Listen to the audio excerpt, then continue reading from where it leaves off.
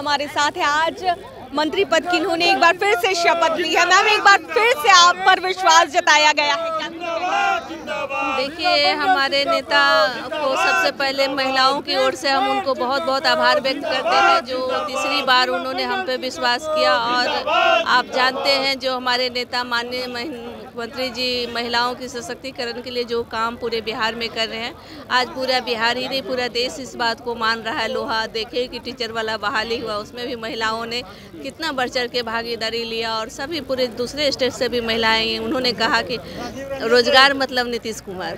तो आज जो महिला सशक्तिकरण देखने को मिल रहा है ये हमारे माननीय मुख्यमंत्री नीतीश कुमार जी के सोच और विजन का ही नतीजा है और महिला सशक्तिकरण का बल है। इस बार की आप प्राथमिकता रहेगी मैम? देखिए अभी तो पता नहीं है कौन सा विभाग मिलता है और जो भी विभाग मिले वो पूरी निष्ठा के साथ हमने जो काम करने का प्रयास करेंगे और हृदय से काम करेंगे जो आम जनता के लिए काम होगा हित में सब में काम करेंगे। आपने कहा रोज़गार या नीतीश कुमार ने दिया लेकिन लगातार अगर आरजेडी की बात करें या फिर तेजस्वी यादव की बात करें वो सवाल उठाते रहते कि रोज़गार तो हम नहीं देखिए नहीं नहीं तो आप बताइए कि वो विपक्षी दल के नेता हैं तो उनका वो उनका काम है हमारा अपना काम है सबकी अपनी अपनी बात है अपनी कोई भी आदमी राजनीतिक रोटी सेकने के लिए तरह तरह की बातें करते हैं तो उनका मामला है ये हम लोग का मामला नहीं हम ये भी लोग ये भी कहा जा रहा है मैम कि काफ़ी देर हुआ मंत्रिमंडल का विस्तार होने में। देखिए कोई वजह से ऐसा नहीं था चाह ही रहे थे सब लोग की हो जाए जल्दी लेकिन कोई कभी न कभी कुछ ना कुछ आ जा रहा था समय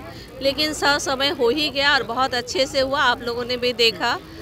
अंत भला तो जग भला पिछली बार आपके पास अ, अगर कह ले तो परिवहन विभाग था परिवहन विभाग था। इस बार क्या उम्मीद कर रही है कौन सा देखिए पिछले बार परिवहन विभाग था और इस बार जो माननीय मुख्यमंत्री जी गार्जियन है उनका निर्णय है जो मिलेगा उसको हम पूरा निर्वहन करने का उम्मीद है। कि कौन सा नहीं अभी कोई उम्मीद नहीं है।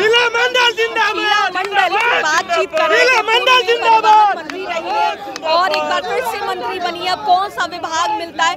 ये देखने वाली बात होगी। उनसे बातचीत कर रहे थे। क्या कुछ कहती नज़र आई है? वो आपने सुना।